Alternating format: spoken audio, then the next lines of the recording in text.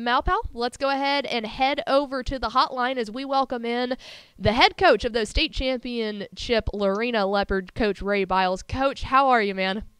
Doing well, thank you. How are you doing? I'm doing so good. Um, we got to ask you before anything else.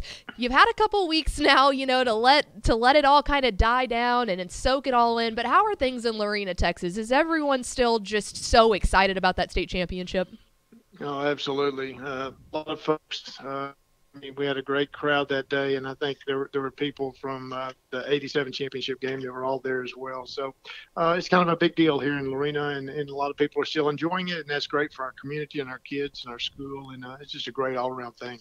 So I want to go back and kind of start at the beginning of the season. We we projected you guys to finish first in your district. We knew you were going to be pretty good. I mean, you had a great run at 9 and 3 last year, got knocked out in that regional semifinal round.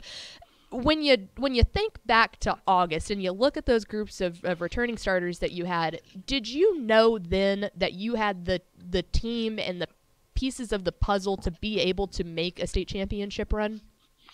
Well, I, I thought we had the uh, the chance to do that. You know, so many things have to go well for you, uh, injury wise, and, and so many other ways. Uh, your kids, a lot of them, know, just need to develop. You know, can they continue to improve? And I thought we had a good nucleus, but uh, it was a, a matter of how quickly can those guys grow together? Uh, can the offensive line get a little bit better? Can our defense start? You know, we last year we scored an awful lot of points, uh, but we we had difficult time stopping people. But this year we had a much better defensive stand all the way uh, through the season. So anyway, there were some question marks, but I think uh, after the first two ball games, we were 0 2 against Franklin and China Spring. But uh, at that point in time, I could tell, hey, we, we got a shot. These guys are good and they're playing well and they're playing hard and things don't rattle them. They just get up and keep going. So uh, you know, we thought we had a shot. Well, and that's I love how you phrase that. I mean, obviously, yeah, you start the season 0 and 2. Now, obviously, those two teams had incredible seasons as well, but you started there moving on throughout the season. Was there a moment when stuff had really been going right? You start to get some of those wins under your belt that you realized, "Oh shoot, man, we're we're doing this. We we actually can make this run to AT&T Stadium." Was there a specific moment in the year that that clicked?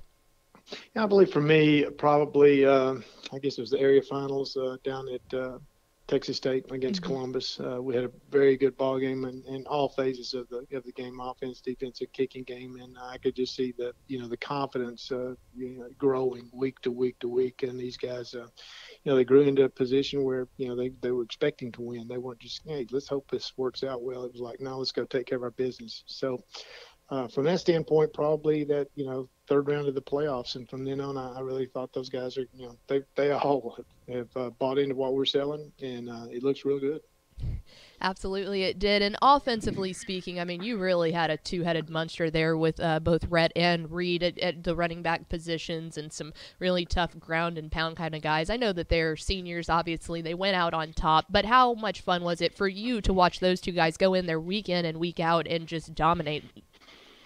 Well, it, it, it was so nice because there was no drop off. Uh, they, they both played on defense. Uh, Rhett was a defensive end, Reed's a safety. So they were both playing on the defense side of the ball. And uh, whichever one of them happened to be rotating in on that particular series at the running back position, you know, uh, Reed ended up with 1,437 yards and Rhett ended up with 1,496 yards. So you know, they were almost balanced out as far as carries and yards per carry and everything else. So there wasn't really a drop off, but uh, and I think those two kids were, you know, really encouraging each other. Uh, Mhm. You know, I know when when Reed got hurt in the semifinal game in the second quarter, you know, um, he it would have been easy for him just to, you know, poker up and pout up, but uh, man, he was a number one cheerleader the rest of the week uh, going into that state championship game, and we were still hopeful that we could get him on the field, but it just didn't pan out that way. So, uh, you know, going into the game, we were pretty sure Rhett was going to have to carry the rock all night long, and he did a tremendous job for us. And then going over to your defense too. I mean, this was a unit that really only gave up just over 14 points a game out of your unbelievably long season. We knew that that was going to be a really strong unit for you. How pleased were you with the way that that unit just worked? It seemed like they gelled together so well. They did, and they really, um, as the season progressed, you know, a lot of confidence uh, again on that side of the ball. But you know, those kids played extremely hard. They they weren't the biggest ones, uh, you know, by far uh, that we've had. But uh, boy, these guys got after it, and uh, you know, the pursuit and the way they played with a tremendous amount of effort and uh, just rallied to the ball, rallied to the ball, and rallied to the ball. And you know, we just, uh, you know, our whole philosophy is just don't give up the home run, force them to snap it again, snap it again, snap it again. If we can do that, then hopefully we can get a stop or, or end up with three instead of seven up on the board. So anyway, but I'm very proud of the way those guys progressed. Coach Snodgrass and our defensive staff did a tremendous job with them. And then finally, you get to that state championship game, and your guys come out. I mean, you get up 14 nothing, and and you really never looked back from that point. I'm curious as to at at halftime of that game, what were you telling your guys about going out there and finishing that second half of play and ending up being the state champions? Well, you're exactly right. You know, we talked about finishing the game, and and then we felt like in the second quarter we we did not play our best football. Uh, you know, mm-hmm. we had a turnover and we had some some miscues. They hit a couple of big plays, and so uh, you know we felt like we'd probably taken some of their best shots, and we were still up by possession. So uh, you know it was critical in the third quarter that we go ahead and get a stop, and we did right off the get go and went down and scored again and extended that lead to 21-6. And uh, you know, and then it, it, was on from there. But uh, yeah, those guys at halftime, we just you know said, hey, keep doing what we do. Uh, we're not going to come in here and change anything. Uh, just keep playing hard and let's see what happens. But uh, you know, very very confident bunch of kids, and uh, there never was a doubt in their minds that you know they were going to come out of the thing with a W. We're talking to Coach Ray Biles, the head coach of the Lorena Leopards. Get involved with the conversation. Hashtag TIA today. Coach, there's a couple more questions for you. And and one, I know Texas high school football coaches hate talking about themselves, but we're gonna put you on the spot here. With that state championship win, that not only was your 200th career win, then you add on to the fact that it was your first state championship at a program that you've been coaching at for 30 years now. I mean, you're a man who is the fabric of that community there.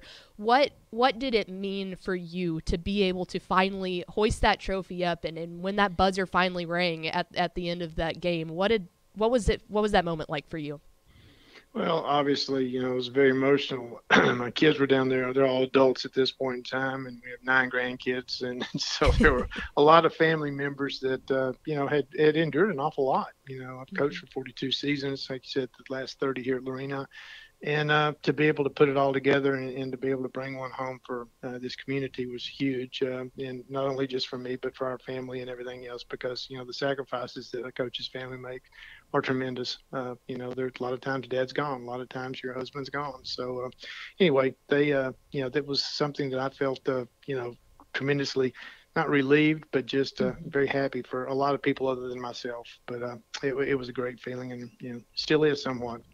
Absolutely. And then finally, coach football coaches, well, they they never shut their brain off. I know it's only January and when we're already looking forward towards the 2022 season, but when you take a look at the Lorena Leopards and, and what they can do in, in 2022, what are you excited about for the team?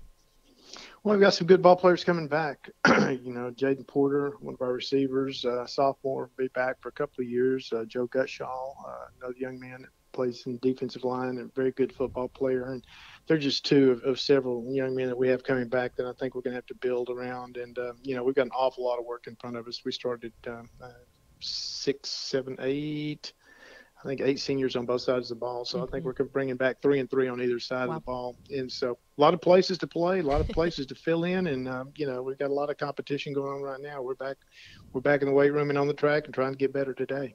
Well, coach, we really appreciate the time. Thank you for giving us an unbelievable football team to watch. There, it, it, was a blast to watch y'all. Congratulations again on the win, and we we hope the party in Lorena just keeps going for you, man. Well, thank you, Ashley. We appreciate y'all too, and thanks for the job that you do for Texas high school football. We appreciate it. There he goes, the head coach of the state champion Lorena Leopards, Coach Ray Biles. Hey, thanks for watching this clip here on YouTube. If you like this kind of stuff and you want more of it, make sure you subscribe to our YouTube channel. And remember, you can watch us live every weekday at noon at texasfootball.com, Facebook, Twitch, or here on YouTube. And if you want more of the best coverage of football in the state of Texas, check out texasfootball.com and become a Dave Campbell's Texas Football Insider at texasfootball.com slash subscribe.